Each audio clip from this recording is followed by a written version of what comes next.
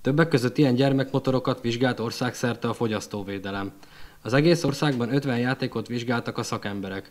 A Tolna megyei kormányhivatal fogyasztóvédelmi osztályvezetője azt mondta, olyan termékeket vizsgáltak, ami veszélyes lehet a gyermekek testi épségére. A gyermekek tömegét hordozó ö, játékoknál, itt, itt egyszerűen a biciklire, a rollerra, a gokártra, ezekre kell gondolni. Ö, ott a teherbírását, az összecsukásnál az éles és, és kiálló részeket vizsgálja a laboratórium. Bár csak 50 terméket vizsgált a fogyasztóvédelem, lehetnek még olyan játékok, amik veszélyt jelenthetnek a gyermekekre.